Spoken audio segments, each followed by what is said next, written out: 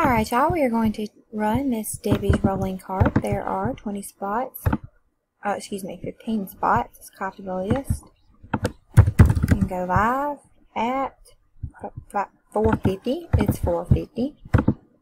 Let's paste our list. We have 15 spots. We need a 4 or higher. We have a 6. Here we go for the first time at 450. After the first time, there are 15 items on the list. Margaret's on top, Sherry's on bottom, Dice calls for a 6. Here we go at 450. It's 2, 3, 4, 5. After the fifth time, there are 15 items on the list. Margaret's on top, Jennifer's on bottom.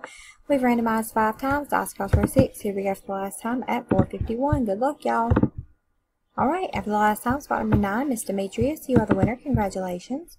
There were 15 items on the list and we randomized 6 times. Dice 5 and 1 did call for a 6.